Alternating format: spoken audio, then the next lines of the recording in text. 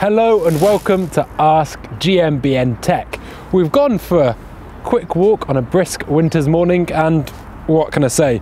Appropriate clothing's for losers. Let's get on with the show. Oakley dokily, so let's rattle through these questions quickly and hopefully it will warm me up a bit. So the first question is from Callum Richards and they want to know, can you put a 50 tooth Sun Ringle cassette on a 42 tooth Shimano drivetrain as both of 11 speeds? Well, listen, you can. The issue is that that um, 11 speed Shimano um, rear derailleur isn't built with a 50 tooth in mind. In fact, originally when they came out, they were 42 tooth. The next year they came out 46 tooth. And even on 46 tooth, I think that they do kind of hmm, begin, begin to be pushed closer towards their limit. The issue is that as you want it to clear that 50 tooth, you have to have more and more B tension, which pushes the derailleur further back. So once you have the jockey wheels appropriately far enough away from the cassette to clear that 50 tooth, then it compromises the shift as you go to the smaller sprockets. So it might work quite well here, but the shift can sometimes become maybe sloppy or, hmm, what be the word? You know, not that punchy when you're going to the higher gears, which are the smaller sprockets. If you are going to do this, a new cable with less friction in the system will help give more precise shifting as you go to those smaller cogs, but it will be probably kind of limited in how good it can actually be because you're having to put so much B tension on. The next question is from Marco Garandi, and he says, well, did you hear that accent I did? I'm quite impressed with myself. I probably got it wrong, but I'm, I'm quite, I'm quite happy with that. What happens if you fit a lower travel shock on your bike? Well, first of all, I'd say that travel isn't really a term that you should use to um, describe shocks because travel is derived from the where the, you know what the axle's doing, where the wheel's going.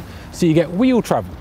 Now, what you get with shocks, the two crucial measurements are eye to eye, so from one hole of the shock to the other, and then stroke length. The stroke length is how far that shaft can go into the shock.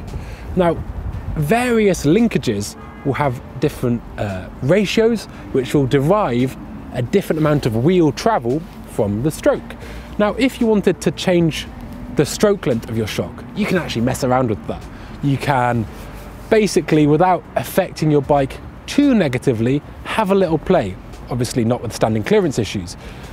The problem is, if you go to a different eye to eye, you can imagine if it goes drastically shorter, it's going to be, and you still want to run your bike at say the same sag, it's going to be really dropping your bottom bracket and it's going to completely compromise the geometry and the feel of your bike. So I'd say as long as you keep the same eye to eye, you can have a little play in stroke length. Sometimes, you know, I've had bikes that come with, say, we're going to talk about it later on actually, with a 65 mil stroke, and I've taken it down to 60 mil to make it kind of more trail bikey. It sits higher in its travel, which then steepens the seat tube, etc., etc. So eye to eye, don't mess with stroke length. You can have a little play. Next question from Velichko Golev, and they ask, can you please explain a bit what would be the pros and cons of running a shorter size crankset on a trail bike? They note that a lot of downhill bikes run 165 mil cranks and 175 bikes generally come on trail bikes. Are shorter cranks just for shorter leg people or anyone can give them a try or can anyone give them a try? Um, well, this is something, this is a cause close to my heart. Um, I once read many a year ago that actually British Cycling tried to do some tests to find out whether there is a discernible performance increase or decrease in crank length. And even their tests were inconclusive because there are so many variables in terms of gear ratio, etc., etc. I think crank length is a really personal fit. Now I know, although it's kind of under wraps, some downhill racers that run as short as 150, if you can believe it. And I know some people that run, you know, 175, 180 more than happily. For me, um, I don't really. I think in terms of clearance, you kind of get used to where your cranks are, and especially if you're riding, you know, flat-footed uh, through turns and rough stuff, it doesn't play too much factor. The thing for me is um, is what it does to my hip. As you're at the top of the stroke, a taller, a, sorry, a longer crank will be bringing your leg further into your body. That doesn't really play well with me personally, so I like to run shorter cranks, if only for that reason.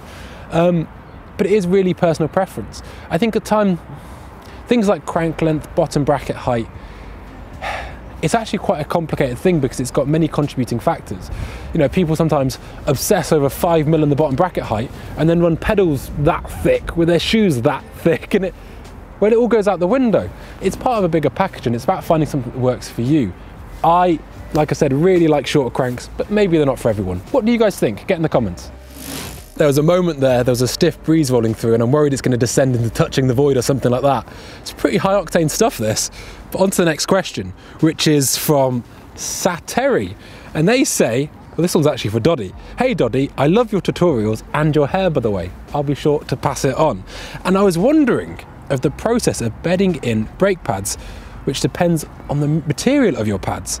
Now, they mentioned that Neil did a video about bedding, bedding in brakes once, and there were lots of discussion in the comments and also other videos online. And sometimes they vary. What is the right way to do it? Well, so this is kind of a, got two elements to it.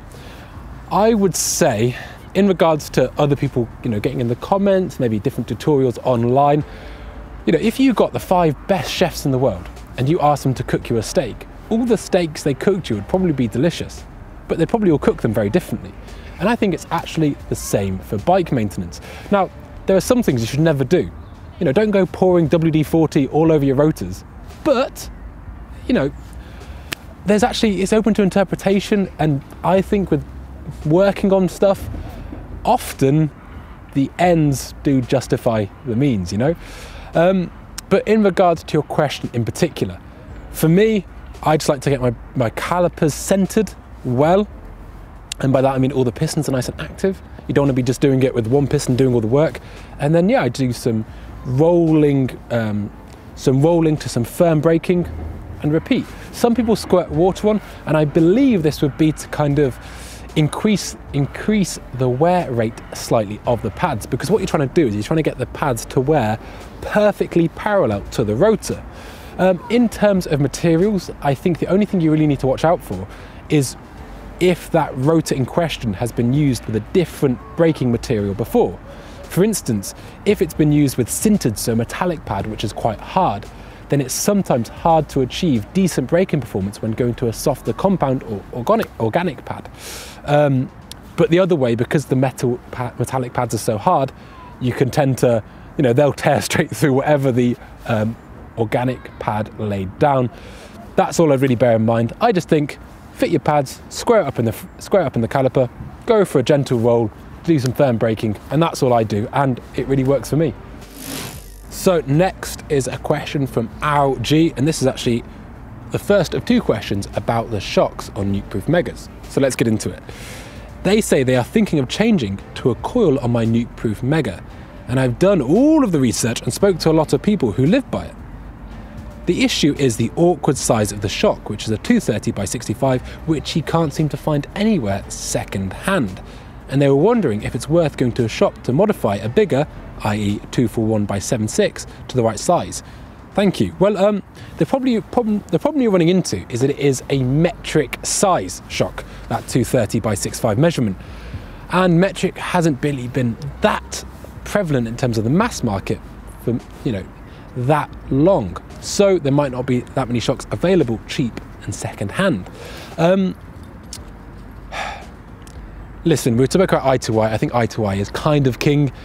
Yes, maybe if they can get it bang on by modding it, then I can't see it being too wrong. But I would imagine it's going to be harder than you think to do.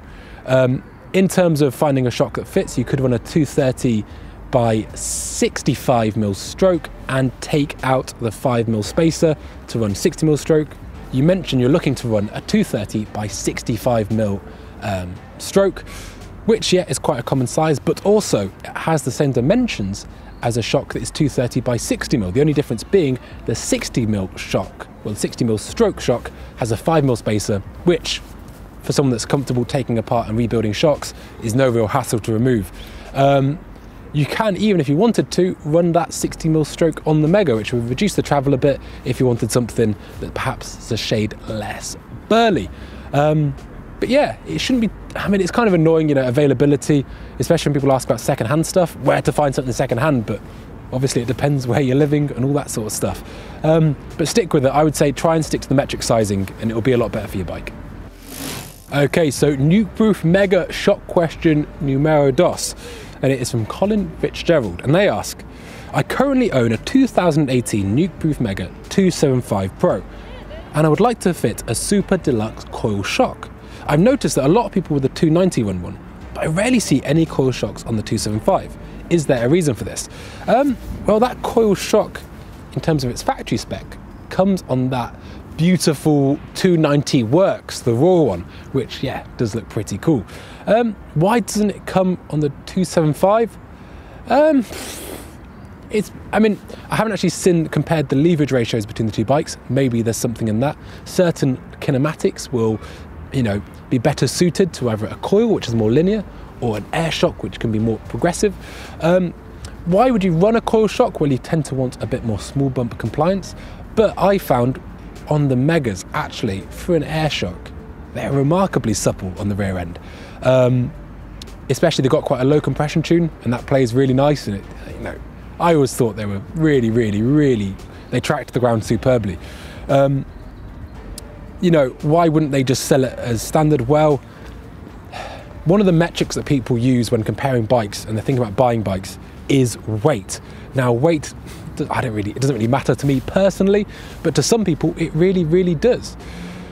Now, that would be a real reason for a manufacturer not to spec a coil shock. Not only is it not so adjustable, but when picking up two bikes in the shop, shop one can feel drastically different.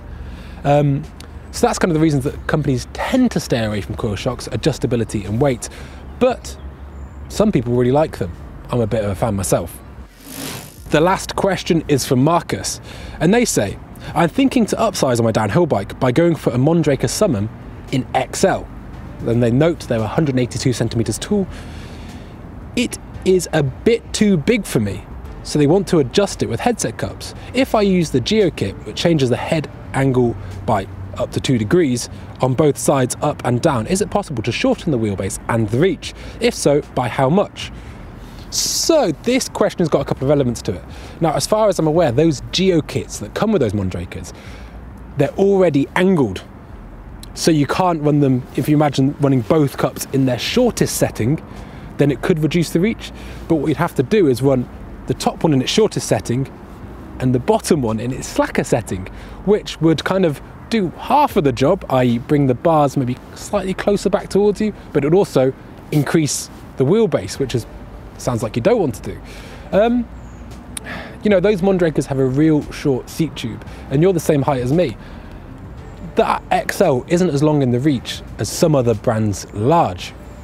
So maybe you could have an experiment with it. If you wanted to shorten the reach, you'd want to use a reach adjust headset as opposed to an angle set, or at least those Mondraker ones.